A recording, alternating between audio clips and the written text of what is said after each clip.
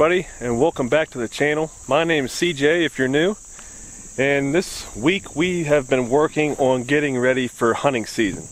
Yesterday my brother and I went and hung some uh, tree stands. We set up this ground blind and a couple evenings ago I came out and mowed this field down.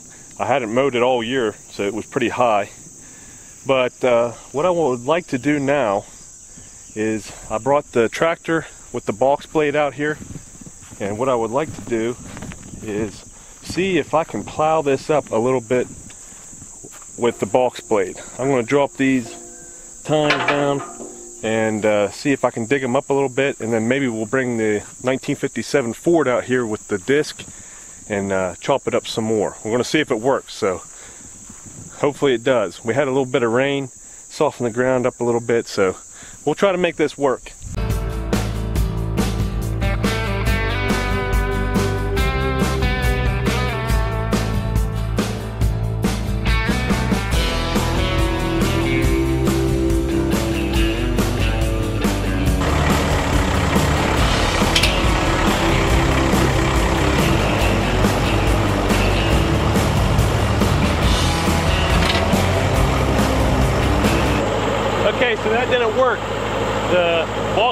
Is tilted too far forward. It's going down too deep. So I'm going to move the top link and set it back a little bit.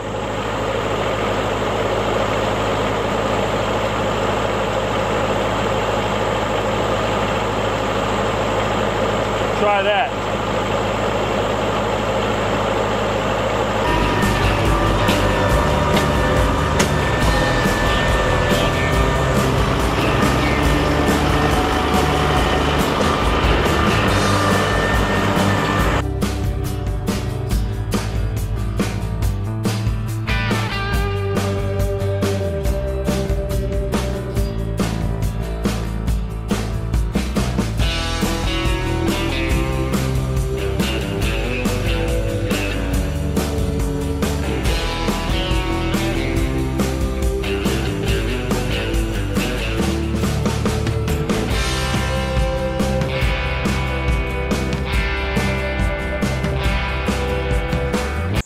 I got Kelsey putting the drone outside for me right now. I'm going to fly the drone out because I want to show you after we got this top layer of grass and thatch off, we're starting to dig down into the dirt now and break it up a little bit. So I'm going to fly the drone out here from the house, give you an overhead view, and then after we get done doing this, I think we can bring the disc out and break it up into real fine dirt. And then we're going to have to decide what we want to plant. What do you need me to do? It needs calibrated. Okay. So I think you go counterclockwise with it with holding it flat and then you put Yeah. and then you put the camera nose down and do it. Okay. I'm doing it.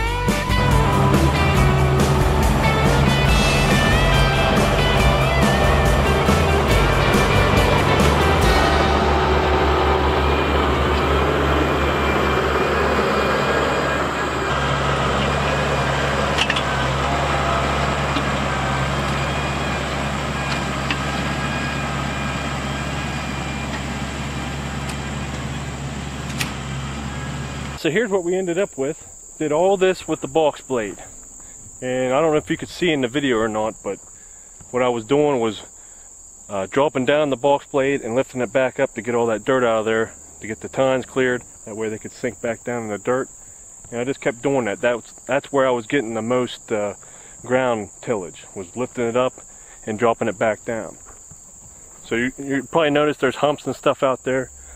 What I'm going to try to do is get the 57 Ford tractor running, and it's got the disc on it, and uh, we'll come out here, disc it, make it all smooth, and then we'll be ready to plant.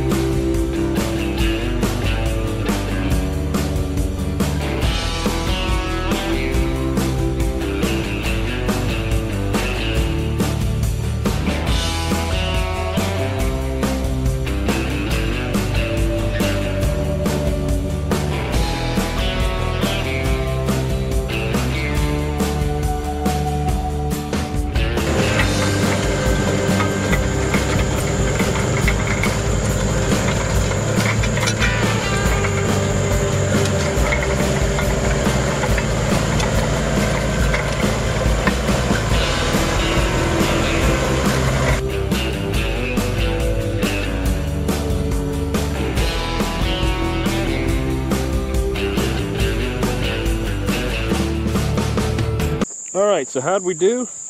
Let me show you. It chopped it up real nice and fine. So after running the disc on it, after using the box blade to, to plow it up, we are ready to plant. Now I know I'm going to need some lime because this uh, soil is a little bit acidic. So we're going to put some lime down and put the seed down. At this point, we're getting to the end of August. I'm probably going to go with some type of uh, Antler King seed with the brassicas and rye and stuff like that because they still have time where they can grow, especially if I put lime down. So probably going to go get some of that. But that is how you can prep a food plot with a box blade and uh, with a disc. And it turned out pretty well. This is the best I've ever been able to till up a food plot. Okay, Kelsey's at the store this morning, so I got my three midgets with me. Say hi. Hi. They're gonna help me today plant this food plot. We're gonna put some lime down and plant the seed. Like it? Who's gonna do it? Me? You gonna push that? Yes. Me? Okay. Yes. You too? No. Okay. It's just me gonna do it. I'm gonna get the whole bag. Let me see you do it. All right, go fast. I can't do it. Here, let me. It's stuck. All right, here's what we ended up going with. Seven card stud for seed. Put that around. And we've got, well, let me get this in the sun. Triticale, oats, winter peas, annual clover, chicory, turnip, and radish. So we're gonna try that out. That's what's recommended for planting this time of year. Sharp.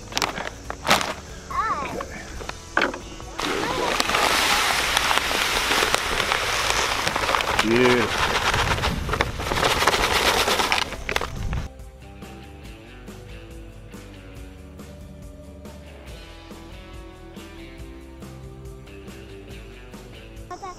All right, we got the lime down, seeds planted. Okay. Uh, what I'm going to do later, I'm going to come over this with the disc one more time to cover up the seeds and then wait for a good hard rain. So thanks to the girls, thanks to my brother-in-law Craig for the help. That's not your brother. Hope you enjoyed this video. We'll keep you updated on the food plot. If you like this video, give us a thumbs up. And everybody, thanks for watching.